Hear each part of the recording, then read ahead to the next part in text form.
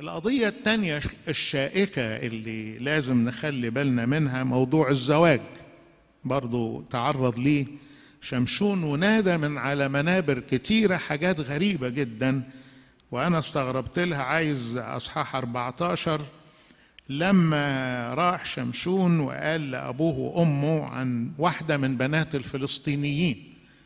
بنات الفلسطينيين أنا لا أتكلم عن الأعراق عن عرقية الفلسطينيين.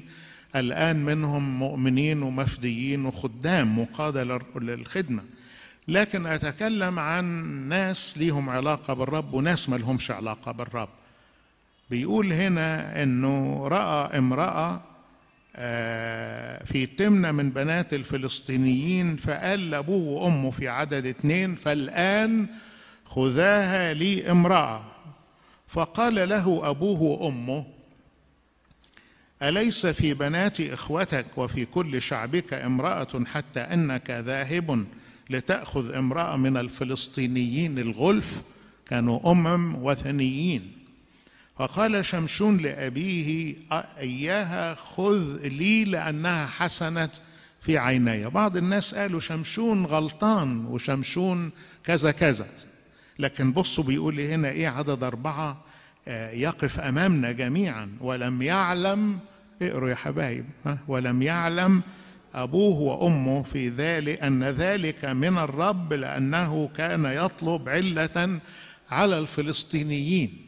خلي بالك في حاجات موجودة بس إحنا ما بننتبه لهاش. هذا العدد عدد أربعة من أصحاح 14 بيقول الموضوع ده سمح به الرب.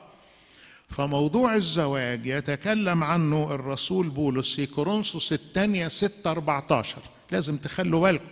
مش بنت شكلها حلو وعينيها خضرة وجسمها مش عارف إيه والولد ده دمه خفيف وعنده سيارة ومعاه ميدالية ذهب وعنده شغل كويس هو ده اللي نجو نجوزهم لبعض. لا هذا هو التعليم الكتابي المتصل بكلمة الله وإلا تتحول بيوتنا إلى خرائب يا أحباء. اقروا الآية الجميلة دي. لا تكونوا اقروا اقروا معايا. لا تكونوا تحت نير مع غير المؤمنين لأنه أية خلطة للبر والإثم وأي شركة للنور مع الظلمة كمل.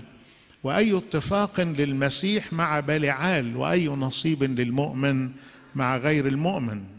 شمشون كانت حالة استثنائية في قضاء أربع في قضاء 14 ستة لكن هذا هو تعليم الكتاب لما تدي فلذة كبدك لإنسان شرير وأنت مش واخد بالك أنت تعبث وأنت لا تمارس أمر كتابي. لا بد أن يكون المؤمن هو الموضوع المهم والمؤمنة.